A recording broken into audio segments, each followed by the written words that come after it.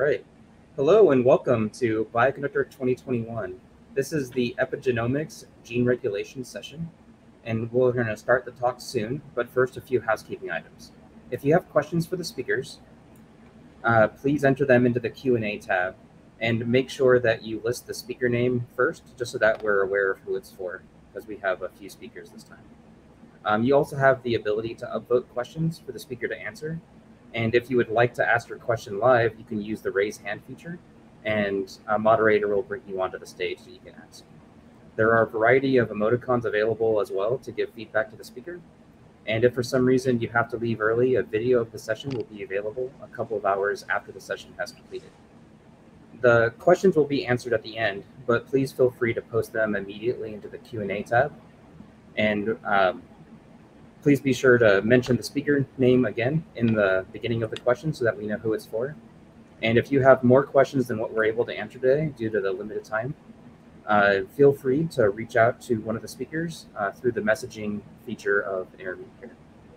So without further ado, it's my pleasure to introduce our first speaker, Shian Su of Walter and Eliza Hall Institute, who will be discussing visualizing nanopore methylation data using NanoMethViz. All right, take it away, Sean. Thank you.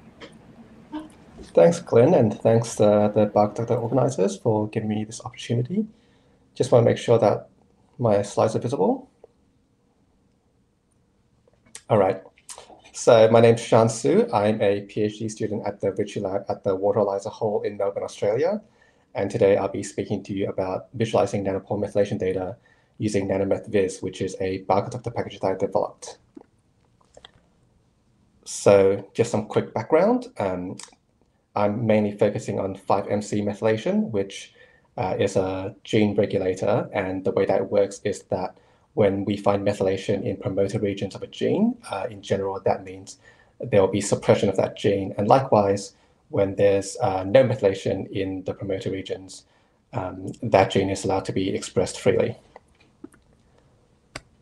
And this plays an important role in various uh, different important processes in um, in the genome. So in particular, I'm looking at genomic imprinting, which is the parent of origin specific expression, which means uh, when you inherit two copies of um, a gene from both your parents, only one of those copies is expressed.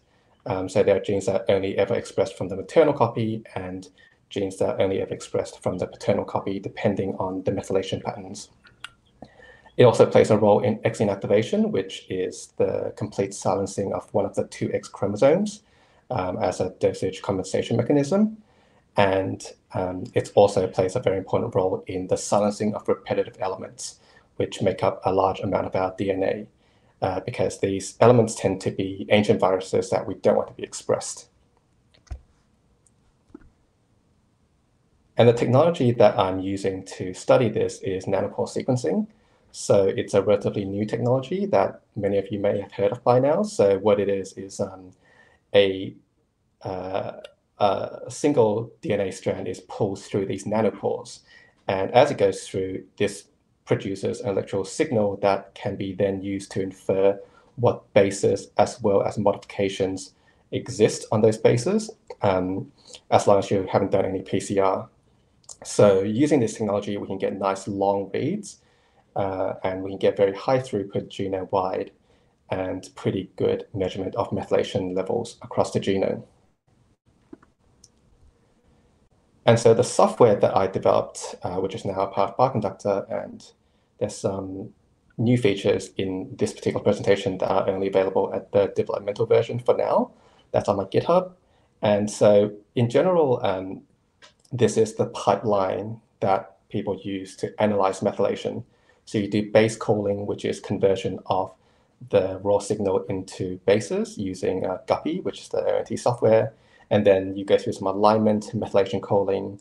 And ideally after that, you want to do DMR, so differentially methylated region detection and visualization. So where I put these red arrows uh, are places where I identified gaps, which I thought required some more software to solve. And those gaps uh, in the arrows basically mean that the output of one software doesn't feed nicely into the next. Um, and at the very end, there wasn't really uh, a good package for doing nanopore specific visualization for methylation software, and that's what NanoMethViz uh, does. So in terms of the data processing, I provide uh, multiple functions to convert data to fit through all the softwares in a pipeline. So um, to begin with, I allow the importing of data from various methylation callers, which due to this being quite a novel and new area of research, um, everyone makes a different methylation caller and then produces different output. So NanoMethViz tries to handle that for some of the more commonly used methylation callers, Nanopolish, F5C, and Megalodon. It standardizes that into a NanoMethViz format, which is compressed and indexed um, and actually allows partial access using our samples without ever decompressing the file. So once it's all nicely imported into the standard format, I don't need to decompress it to read it for any of the downstream analysis that I want to do. And from there, um, I can create my visualizations and also export it into various formats that will be useful for doing differential methylation analysis uh, using different bioconductor softwares. And so some of the plots that I can make using my package. So um, just a brief description of the experiment that this data comes from. Um, it's from these uh, first generation crosses between two well-known um, mouse strains, and we've collected three female mice placenta. So you know, each of these samples have two X chromosomes, and ha having well-characterized parent strains means we could haplotype them quite easily. Um, and then we put each of these samples on one PromethION flow cell to get this data. And just doing MDS plot, um, which is analogous to a PCA plot, we can see um, that overall the samples separate quite nicely based on their methylation profile, um, based uh, by their haplotypes. And then using this data, we can also look into, um, so using the plot aggregate regions function, we can look at how genes and other features are methylated uh, in a broader, more general sense. So in terms of aggregating over autosomal genes, what we see is that the methylation tends to dip heavily near the transcription start site, which is where the promoter region tends to be. Um, so it's heavily demethylated in that region, and then it quickly picks back up as you move into the gene body. And as you move towards the transcription uh, termination site, it actually um, keeps climbing until it peaks at the transcription termination site, and then it slides back down to a background level. And the other thing that we looked at was the methylation profiles aggregated over these L1, these line one repeats. Um, and we take only the complete copies of these as annotated by the L1 base database. And what we see is that for L1 repeats, the methylation, as you move into the region, starts, to slowly climb and then it peaks.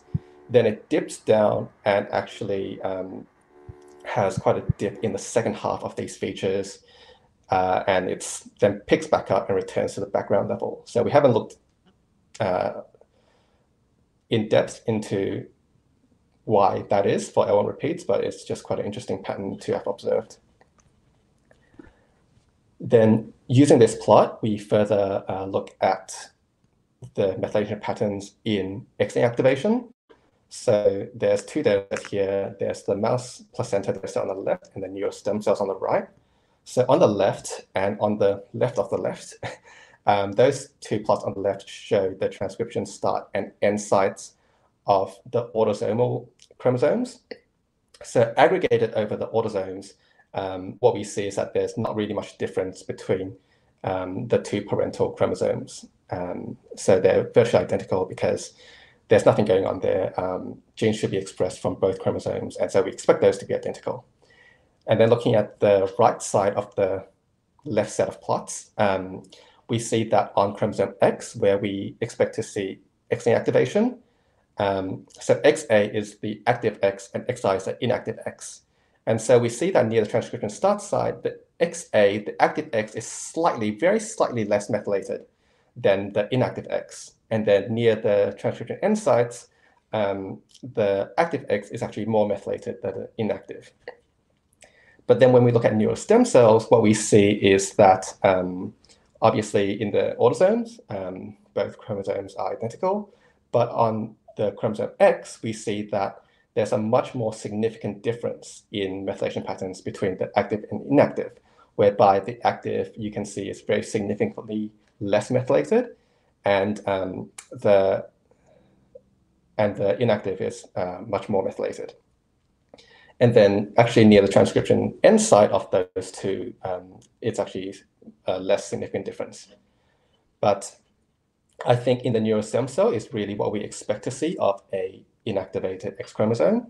Um, we think that in the mouse placenta, because that tissue is not expected to mature into a fully functional organism, that the control mechanisms there might not um, might not be the same as in proper mature cells. Then finally, um, we can zoom in to the gene, to kind of these small genomic regions where we look at PEG3, which is a parentally expressed gene, the paternally expressed gene. And so we see on the expressed copy of um, this gene, on the paternal um, copy, there's demethylation, and on the silenced copy, there is uh, increased methylation in the transcription start site. And so there's another plot beneath that shows very much the same information, but using a heat map. Um, and the heat map also kind of shows gaps in coverage in those areas in which there's not much difference in this particular plot. And then on the right, um, it's just very much the same thing, but this is a MEG3, the maternally expressed gene 3. And we see that for the maternally expressed gene, there is demethylation in the maternal copy and um, a maintained methylation in the paternal copy. And with that, I would like to thank all the members of the Ritchie Lab, um, so that's my lab, and all the members of Blewitt Lab and Speed Lab. Um, Lab did much of the prior work on this. I'd like to thank the animal technicians and the people at Monash who helped a lot with the visualization aspect of this. Thank you all. That was great. Thank you, Sean. I really appreciate that. Uh, so our next speaker is Lauren Harmon, who's a PhD student at Van Andel Institute. And uh, Lauren will be talking about standardizing the seq data with spike in controls. So let's uh, go ahead and take it away, Lauren. Thank you. Today, my name is Lauren Harmon, and I am a graduate student in the Triche Lab at the Van Andel Institute. And I'm really excited to share with you guys today our new bioconductor package called Spiky.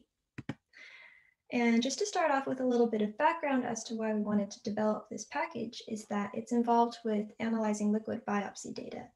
And liquid biopsies have really gained, tra gained traction in recent years as a biomarker for cancer, as well as other diseases such as preterm birth or transplant rejection. And the way that it works is that um, in cancer, the cells are rapidly dividing, but also rapidly dying.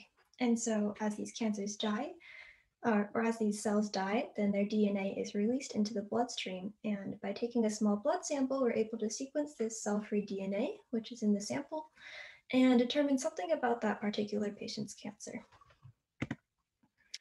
Liquid biopsies are really useful. You can use them to screen for the disease, to determine the best treatment, to monitor the treatment response, or to determine if there's a minimal residual disease or if there's a relapse.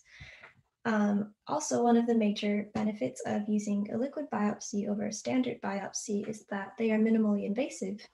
So this is particularly exciting for us in my lab because we study leukemia.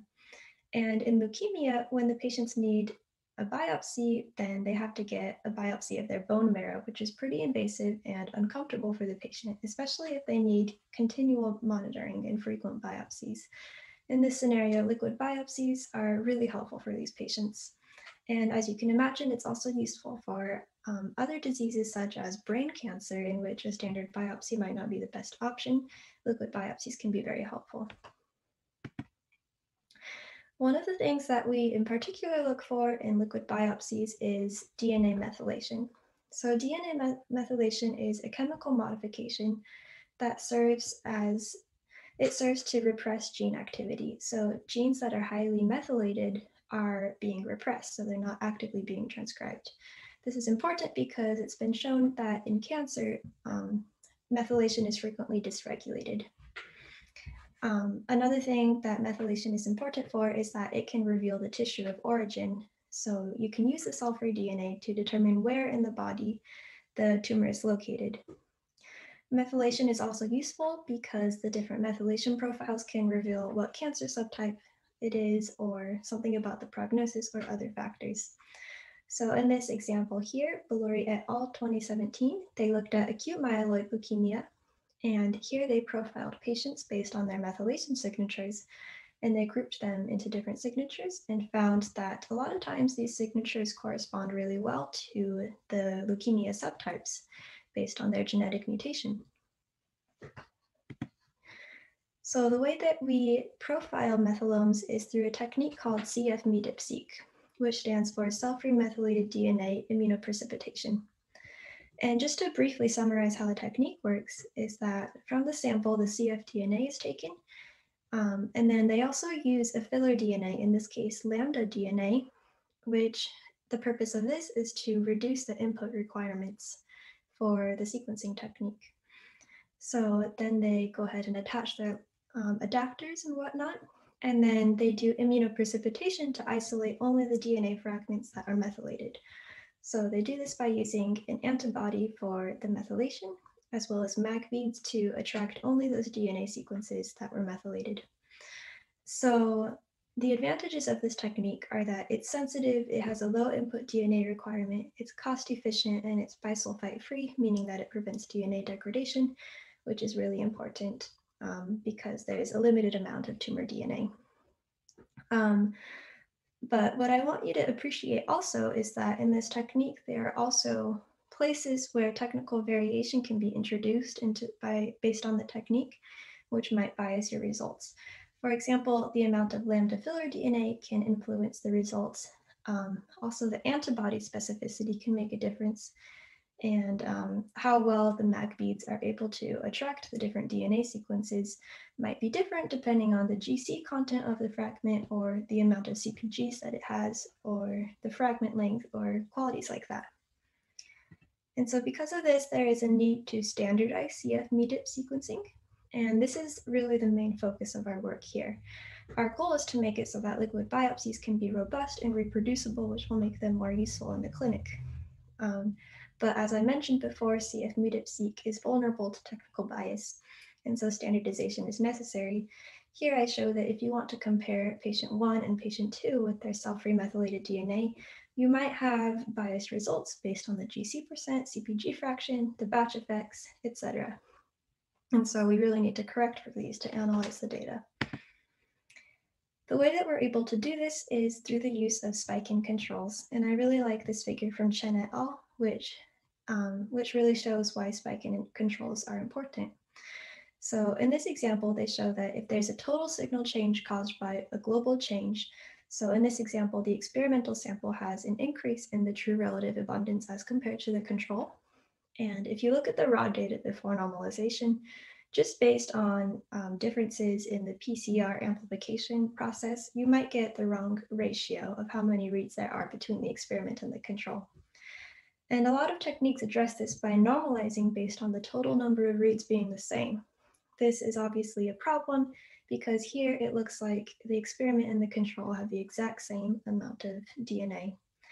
Whereas if you normalize based on the spike in reads, then you're able to correctly identify the biological variation of interest.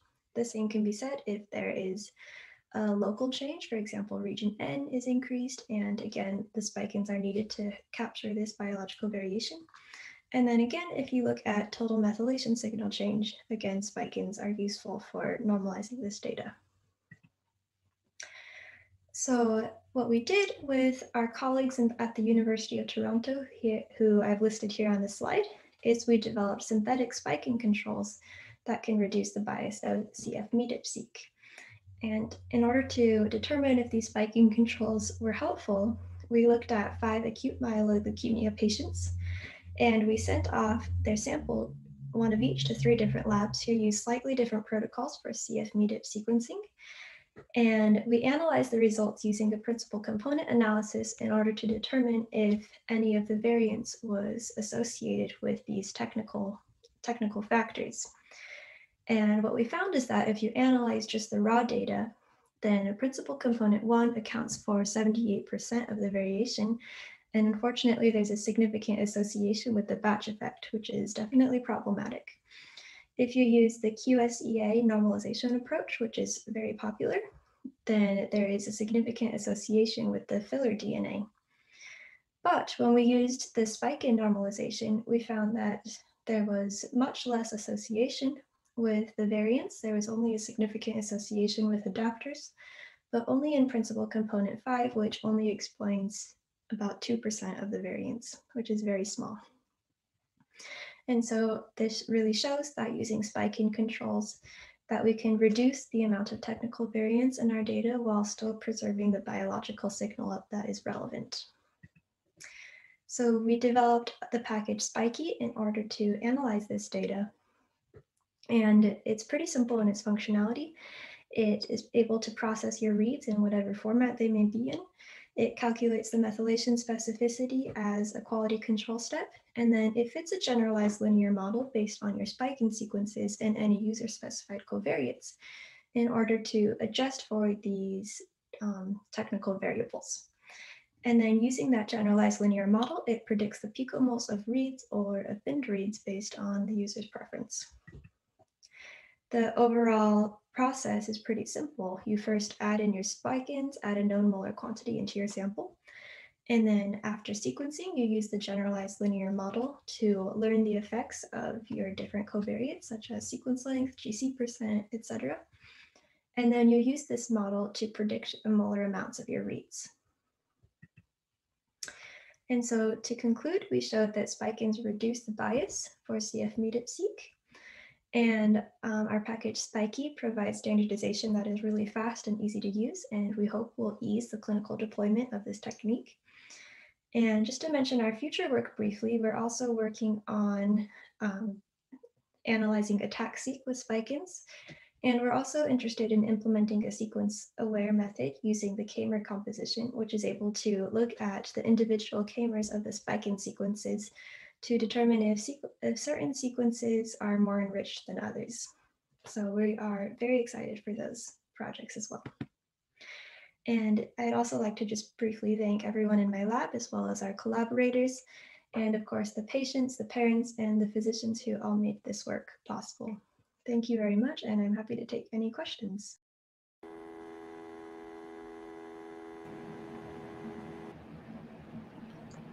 All right, that was great. Thank you, Lauren. Um, and again, we'll have questions at the end, but feel free to post them uh, now if you want to ask them. Um, so uh, next up, uh, I'm happy to introduce Ben Johnson of the Van Andel Institute. And he's going to be showing us his work on the direct inference of higher order chromatin structure from single cell RNA-seq and single cell ATAC-seq data. So go ahead and take it away, Ben. Thank you.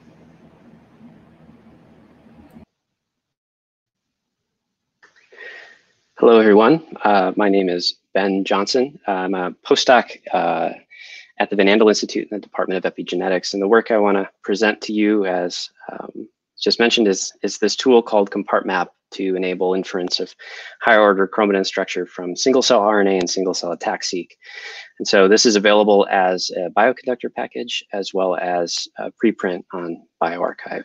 And so kind of as a little bit of background, the uh, genome is uh, the nuclear genome is hierarchically, hierarchically organized where we can start at these very large chromosome territories at the 100 plus megabase scale. This is usually an entire chromosome. And as we begin to zoom in um, we uh, can, can define these chromosome compartments, which tend to range from 1 to 100 megabases and are usually divided into A and B compartments where A is associated with uh, active gene expression or euchromatic space and, and B compartments are associated with uh, lower gene expression uh, and heterochromatic space. And the most dynamic um, uh, or domains are often referred to as these topologically associated domains or TADs, TAD-like domains, which tend to be at the kilobase or all the way up to the three, three megabase scale, depending on how you define it. And then we can go all the way to the base pair uh, scale to the um, to, to look at individual bases. And so looking at the kind of um, this multi-scale or multi um, uh, yeah, multi-scale view of the genome can provide very uh, great insight into the um, cell type specificity as well as regulatory space and how it contributes to health and disease. And so, like I said, these chromatin compartments can be associated with open A compartments and um, or closed B compartments, and they provide kind of this spatial control of gene expression um, as shown in, in this figure, where the orange is, is demonstrating these B compartments or these lamin-associated domains, low gene expression, and then the A compartment is associated with um, high gene expression. And as I mentioned earlier, the kind of these patterns of open and closed chromatin um, can often be uh, cell type specific, as shown here, where the colored regions are uh, open chromatin and the gray regions are closed chromatin, where showing uh, different types of immune cells and the patterns of this, this these chromatin states in chromosome 1. And so where things get a little bit interesting was, um, uh, at, at, least for me, um, was in a fragile nucleosome seminar on YouTube. And if you're into chromatin, highly recommend um, watching these. But one particular one from Alistair Boettiger uh, said that population scale chromatin domains are this statistically emergent property and are not stable or static entities. And so he showed this uh, in a, um, a 2018, 2018 uh, science paper with Xiaowei Zhuang, is that if you look at individual cells, as shown in uh, the left here looking at chromosome 21 that um, they produce these kind of different chromatin structures in each of the individual cells, even though they all come from a um, the same, what was supposed to be an isogenic background cell line. And where what these uh, red and blue kind of um, uh, plots represent are the DNA, DNA DNA contact frequencies, where red is more frequent interaction and blue is lower frequent interaction. And when they basically average these together, what you see is when you um, average over the population, you get what you would necessarily might expect from a specialized assay like uh, Hi-C to profile um, higher order chromatin, but looks very different at the population level versus the single cell level, showing that it's very dynamic. And he went on to show that it's dynamic both at the TAD level, but also at the compartment level. And I don't believe that's necessarily published yet. So the A and B compartment can be very different between single cells. And so the way that we measure uh, these uh, the higher order chromatin is often through these proximity ligation techniques called Hi-C, non-proximity ligation techniques called Sprite, and also some imaging-based approaches like Alistair Boettiger's group has, has done. But what about non-specialized assays? Can we also get this information from from other types of assays? And the answer is yes. Um, in 2015, Jean-Philippe Fortin and Kasper Hansen showed in a genome biology paper that they could take a specialized method like Hi-C and computationally infer uh, uh, AB compartments are open and closed chromatin at the uh, population level using non-specialized assays like single cell ATAC-seq, methylation arrays, et cetera, that are very comparable to uh, Hi-C. And so again, the color here represents closed chromatin uh, and the gray represents open chromatin. And so the reason this kind of works is that there exist these long range correlations uh, between loci within the same domain.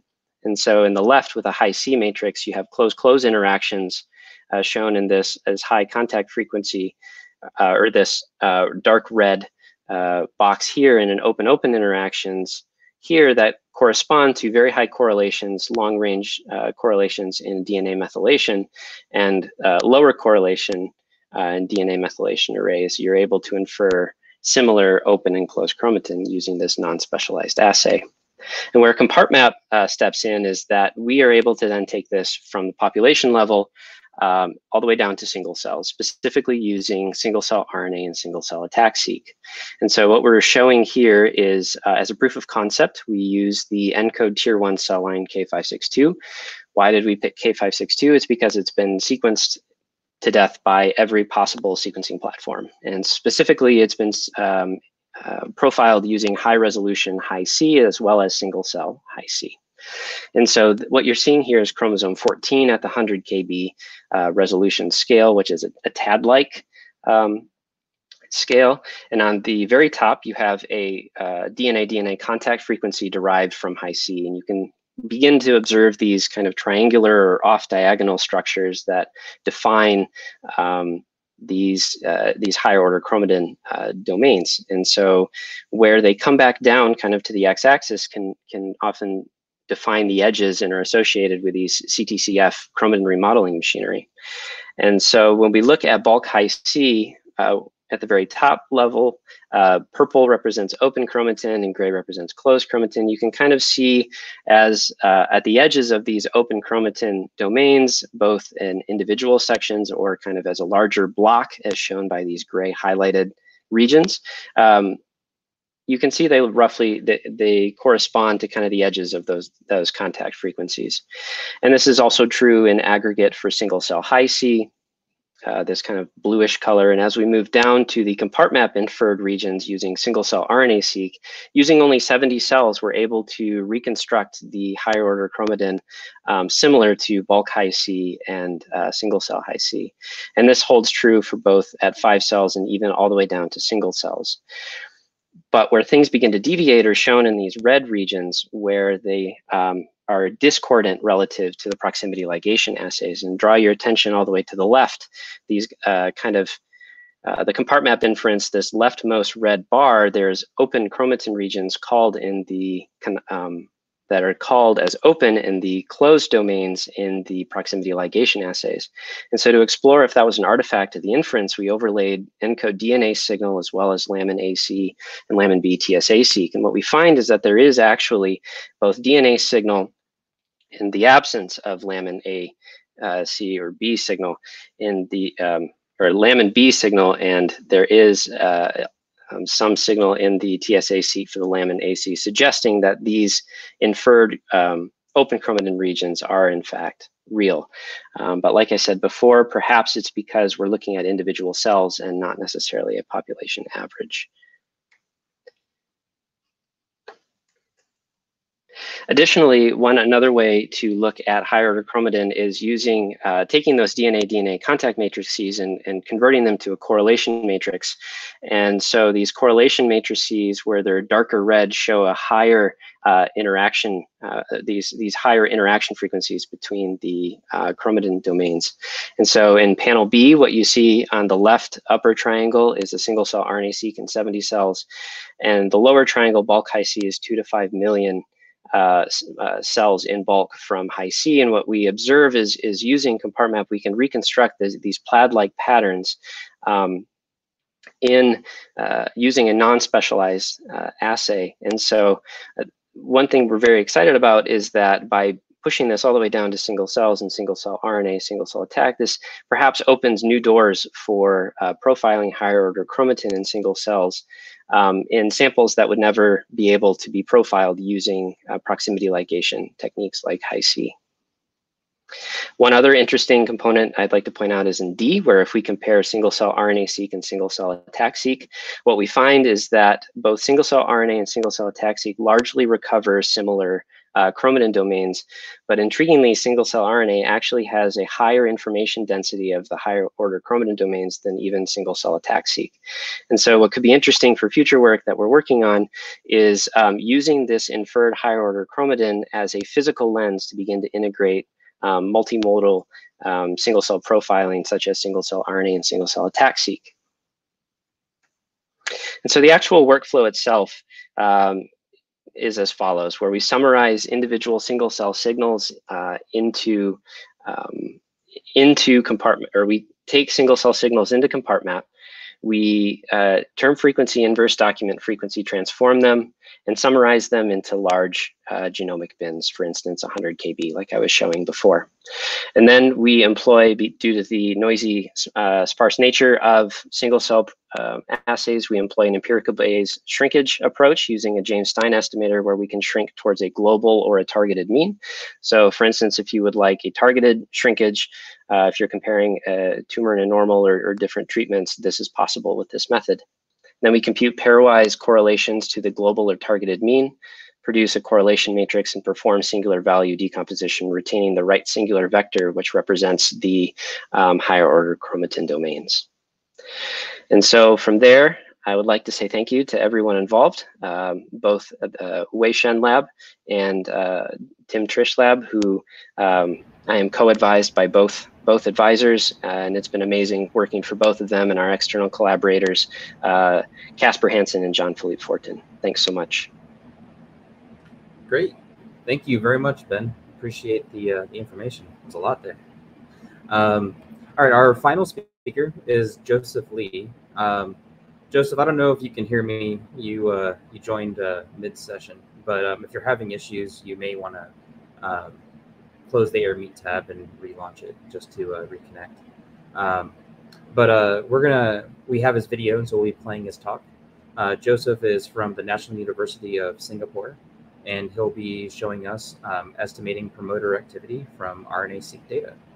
So let's go ahead and play that video. Hi everyone, I'm Joseph, a research intern at the Genome Institute of Singapore. Today, I'll be presenting our work on proActiv, an R package designed to estimate promoter activity from RNA-seq data. To motivate proActiv, we first look at promoters, which are key regulatory units in gene expression.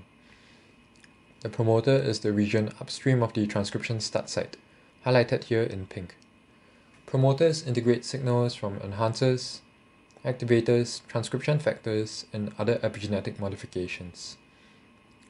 The possible combinations of these signals contribute to transcriptional diversity and isoform expression. Most genes have multiple promoters, and more than 80% of protein coding genes use alternative promoters.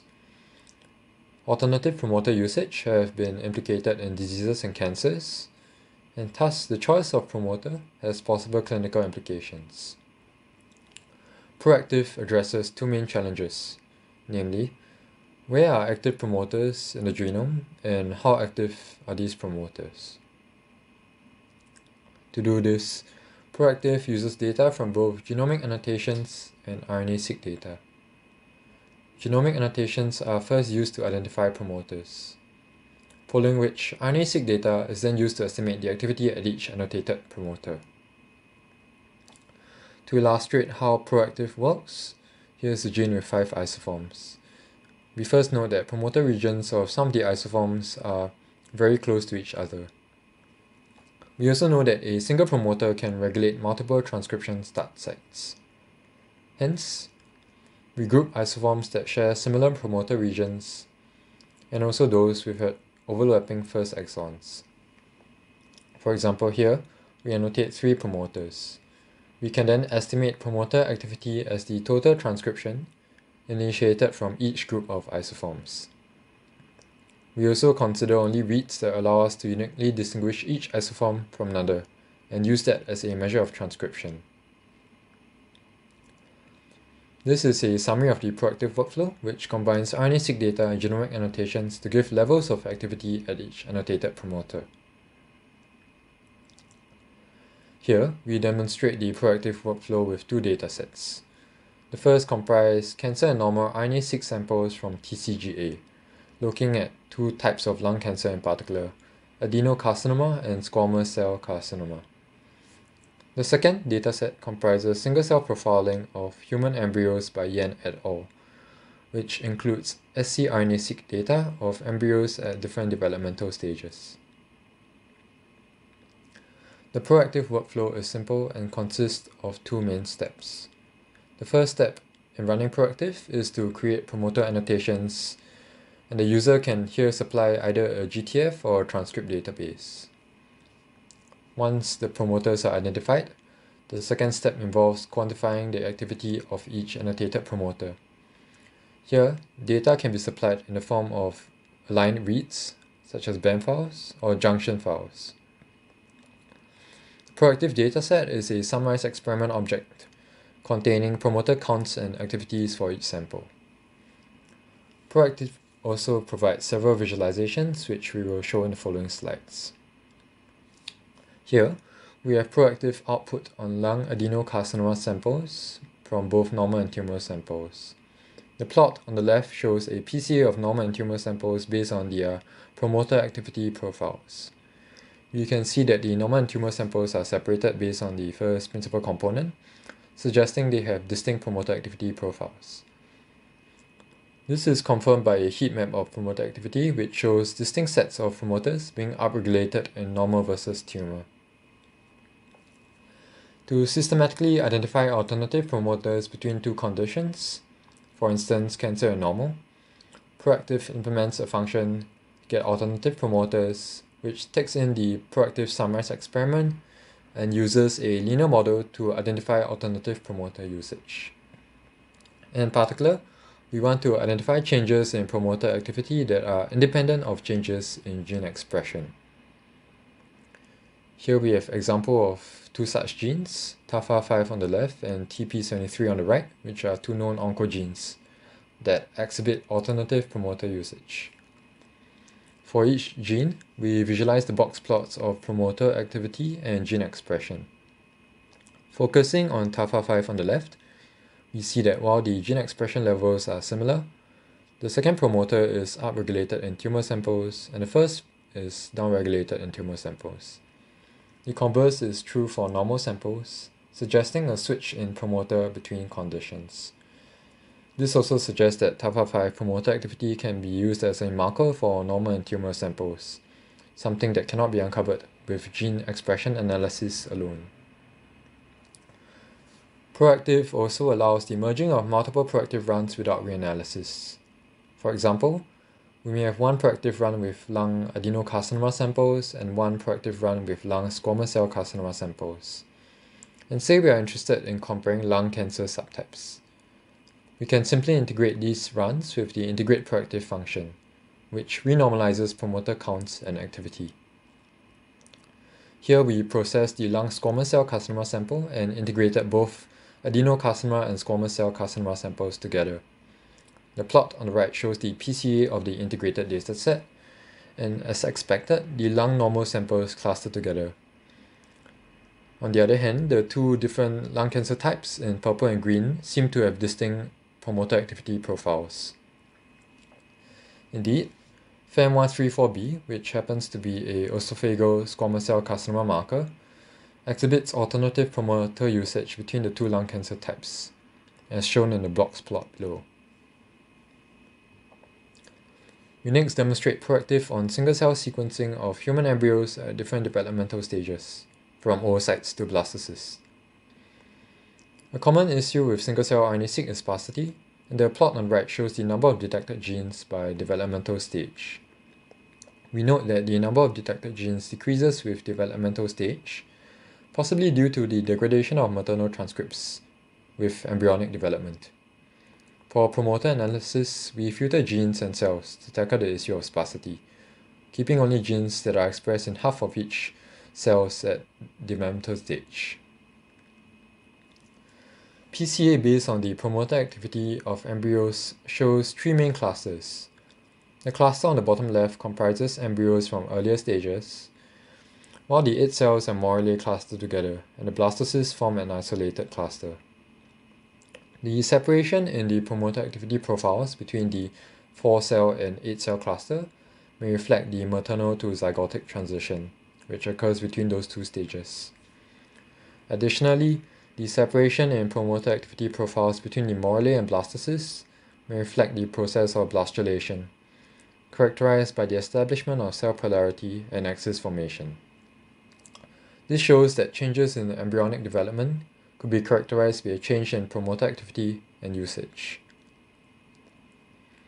Here are two examples of genes that exhibit alternative promoter usage between the 4-cell and 8-cell stages, which may reflect changes in due to the MZT. In particular, we focus on PIAS1 on the left, which shows upregulation of the first promoter in the 4-cell stage, while the second promoter in the 4-cell stage is virtually inactive. In the 8-cell stage, however, the second promoter seems to be activated, and both promoters contribute equally to gene expression. Again, the gene expression levels between the 4-cell and 8-cell stages are relatively similar. The HP1BP3 on the right also shows promoter switching between the 4-cell and 8-cell stages. proActiv has also been used on larger datasets. For instance, Deniz et al. used proActiv for a pan-cancer transcriptome analysis of promoters and found tissue and cancer-specific promoters. proActiv has also been used in conjunction with long-read RNA-seq to identify unique promoter profiles for subtypes of gastric cancer. Lastly, Pro proActiv has also been used to identify alternative promoters in leukemia. In summary, proActiv characterizes the promoter landscape in silico by identifying active and alternative promoters between multiple conditions. In addition, proActiv comes with a simple, well-documented interface, and you can find documentation and vignettes at our package webpage here. Acknowledgements goes to Deniz and Jonathan for their guidance on this work, for Deniz who wrote the proActiv package. I'd like to thank the organizers for organizing this event and letting us present our research here. Thank you.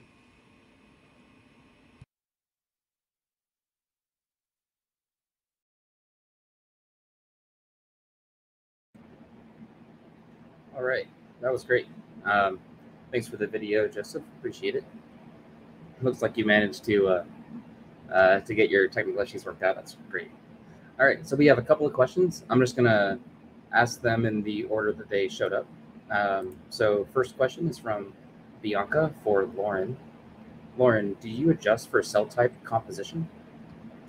Um, hi, Bianca. Thanks for the question. So we currently don't adjust for cell type composition. We only adjust for um, things that you would, information that you would get from the spike, from the spike. So if you use lambda, then um, it doesn't necessarily have different cell types.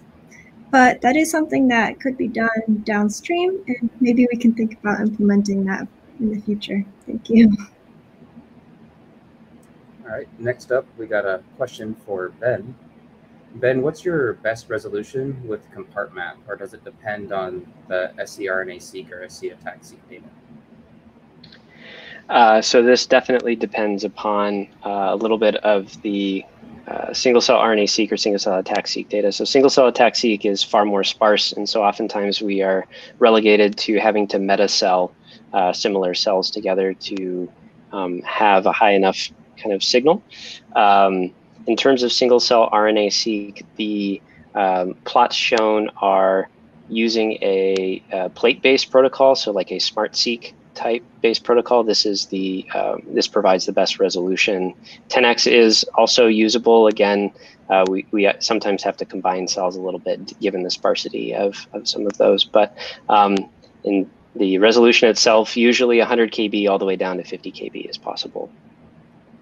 Okay, uh, another question for you, Ben. Um, what's the rationale for cell numbers used in the single cell RNA-seq or ATAC-seq analysis? And were these cells isolated are analyzed as highly purified populations?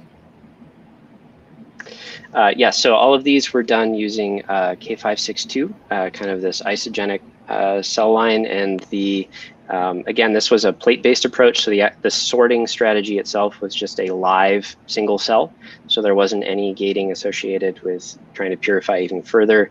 And the 70 cells that I had shown was a total of approximately 90 because um, the other six were controls. Um, the 20 or so cells didn't pass QC, such as like number of genes expressed, et cetera, et cetera. Um, how, and how does that compare to the, how does that cost compare to the bulk use in IC data? It looks pretty good. Um, in aggregate, 70 cells achieves something like 80% uh, correlation to uh, bulk Hi-C, but we think some of those discrepancies are a result of um, not all K562 cell lines are created equal in terms of passaging and, and things like that, but also um, we're using RNA in this case as a readout versus DNA-DNA interactions. All right. Uh, next question is we have for Sean. Uh, you showed some very nice images of the regions with active and inactive regions. Uh, is the data usually this clear? Uh, depends on what you mean usually. Um, so when I take, uh, you know, well-known imprinted genes from literature, then the data tends to be pretty clean um, for the majority of them. Um, if I just look at random places in a genome, obviously it's mostly noise. So, yeah. Okay. Um, one another question for you: uh, Do you think the proActiv could be used to infer relative isoform abundance? For I think that might be for Joseph. Yeah, it's probably for me. Yeah, Joseph. All right. So yeah, so Joseph, sorry for you. Yeah, so Um, yeah, and thanks for the question, Amelia. I think in identifying promoters, uh, proActiv bunches together isoforms that share similar promoter regions. So um, proActiv would be used in particular to, to get those promoter levels for those uh, isoforms. But I think it would, if you compare the uh, proActiv estimates with several group of isoforms that share the, the same promoter regions, you should see some correlation there. okay, great. Thank you. Um, we have another question here for Ben. Uh, can you detect changes between clusters and cell types? Is there a test for statistical significance of difference?